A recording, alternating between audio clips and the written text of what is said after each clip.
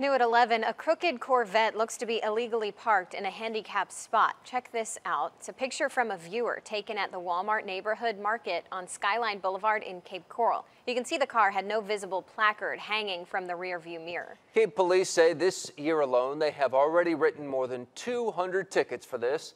NBC2's Nestor Montoya explains how they're using an army of volunteers to enforce the law.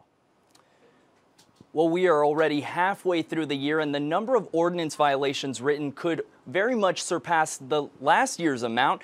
Police tell us that their public service aides are the ones cracking down on drivers breaking this law. A picture worth just one word for some. Seriously. But generating dozens of complaints online. If you don't have a placard and you don't belong in a handicap spot, don't take it.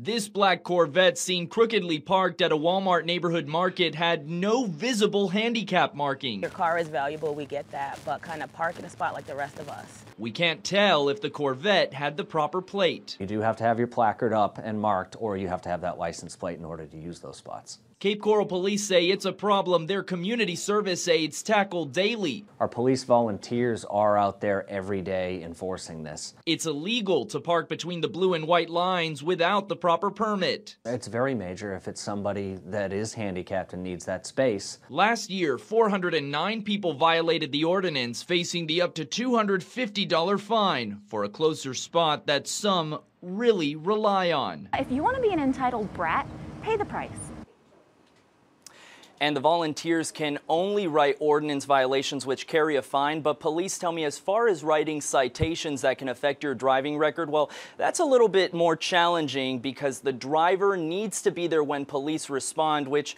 as you can imagine, they're probably not there because that car is parked. I'm live in the control room tonight, Nestor Montoya, NBC2.